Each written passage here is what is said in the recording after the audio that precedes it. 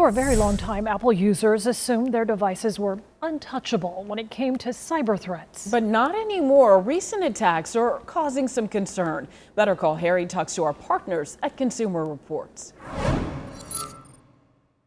I have two iPhones that I purchased from the AT&T store and I love them. One for me, one for my daughter. I never thought about adding security on the phone because, you know, it's Apple. Well, our partners at Consumer Reports say that is something you need to think about.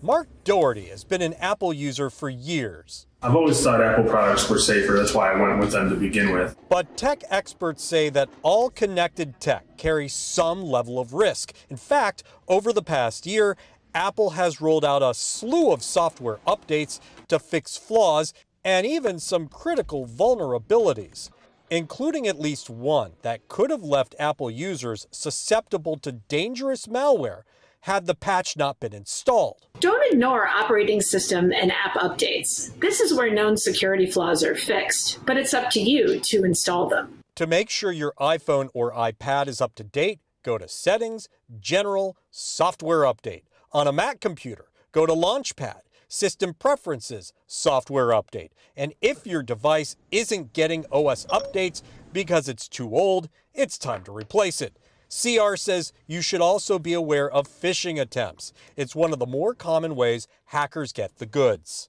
Most of the time, cyber criminals can only get access to your device if you give them a way in, say by clicking on a malicious link, or an attachment in an email, or even a social media post. And if you think Apple products don't need antivirus software, think again.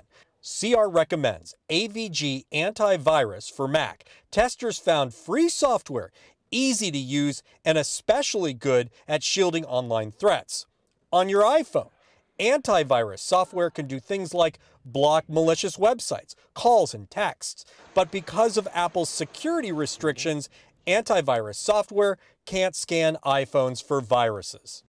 I know what some of you are saying. Harry, I don't have an iPhone. Even if you don't have an iPhone, you still need to have security. And you need to stop using the same password for everything and get yourself a password manager.